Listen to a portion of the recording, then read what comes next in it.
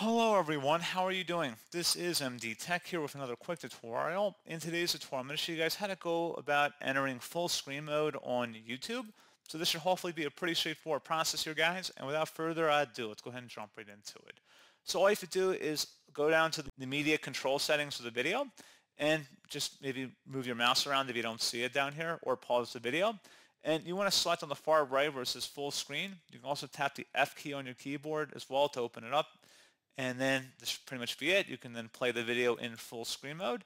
If you want to exit full screen mode, just tap the escape key on your keyboard, or you can go down, again, if you use your mouse, you click inside the video, and then select where it says exit full screen down here, and that's all you have to do. So pretty straightforward process, guys, and as always, thank you for watching. I do hope I was able to help you out, and I do look forward to catching you all in the next tutorial. Goodbye.